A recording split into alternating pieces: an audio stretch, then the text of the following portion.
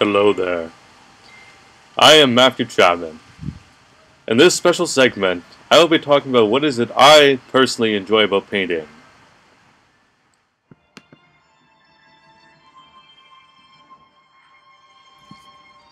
When it comes to the world of art, I personally like the work of the masters, the old masters and the group of seven, and the painters that done landscapes and some of the aggravatingly boring stuff that some people don't enjoy anymore. I personally do. I'm a quiet guy in real life, and that kind of work is what I find most engaging. Just sucks me in.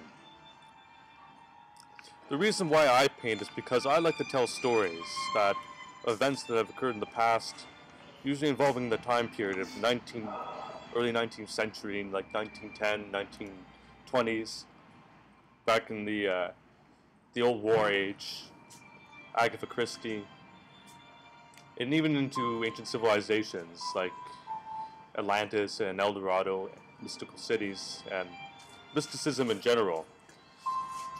When it comes to modern realism, I get a bit lost on that.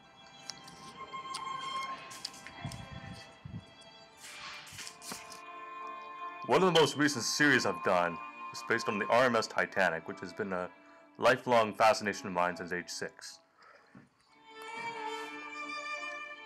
And this is how I like to paint, with wild, bold strokes, vivid colors,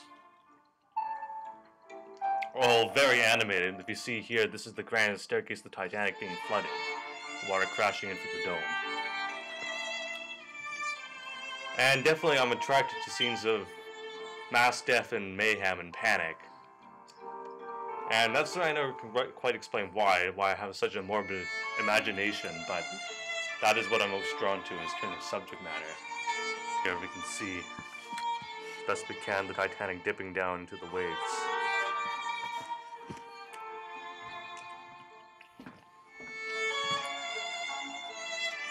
Some of the artists that I like using for reference include here we see Marc Chagall's paintings, especially with the use of color and the dreamlike look that Marc Chagall tended to use for a lot of his paintings.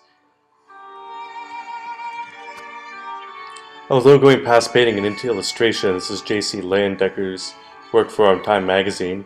Uh, it's a style that I'm quite drawn to, looking at fancy clothes and fancy people. Also here with Edward Gorey and his illustrative work.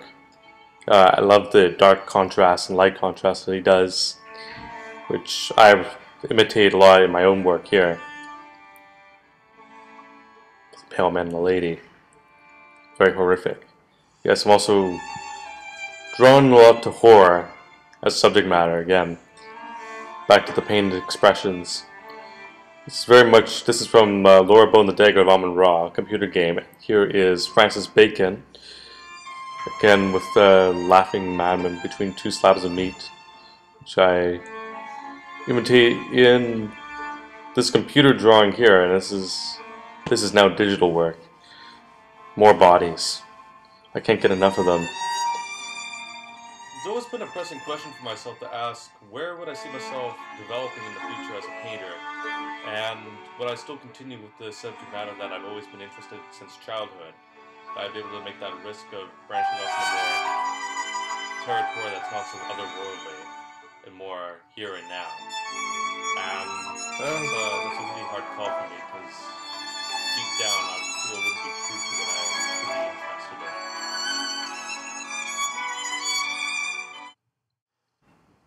Here I'll be showing some concept artwork of upcoming projects I'll be working on. Over here, I've got some concept sketches for a painting project that's coming up for the new release of the next Titanic computer game.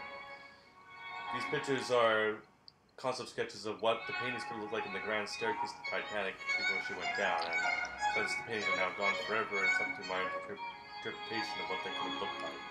So on seat, I could have been a half portrait of a man. I enjoyed working in this this neo-Victorian style. Italian landscape.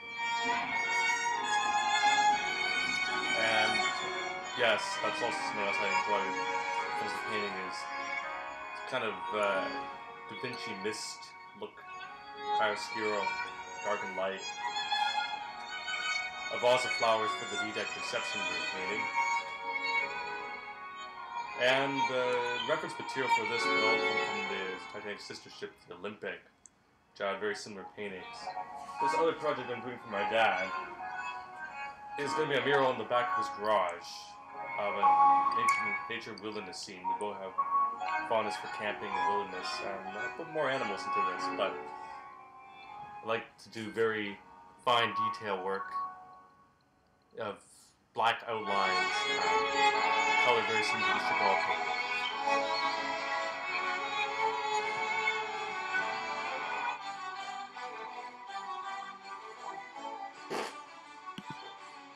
You're, the, you're the next. You're the next Vincent Van Gogh.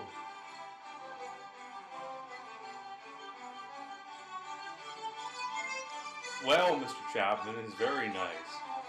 Well, thank you very much. Matthew, Matthew, Matthew, Matthew. Oh, it's so lovely. Oh, I mean the colour, the colour. Mean the texture you've got here. Um, really, you're really. You're a very talented young man. See from the cyclones. You see the tornadoes in the background? Maybe. What's going on here? It's very interesting. See what you got going on there, yeah, Matthew. So, how, how much is this?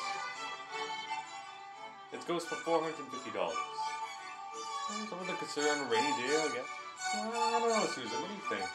Oh my. Yeah, that's it on my little segment on what I like about painting.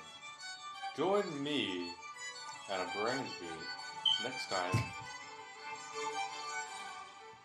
Next time. Good night.